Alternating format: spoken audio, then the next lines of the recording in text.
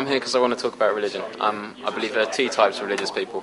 First type are the people who are born with it. Um, their parents were religious and they've been made religious because, well, they're brainwashed basically.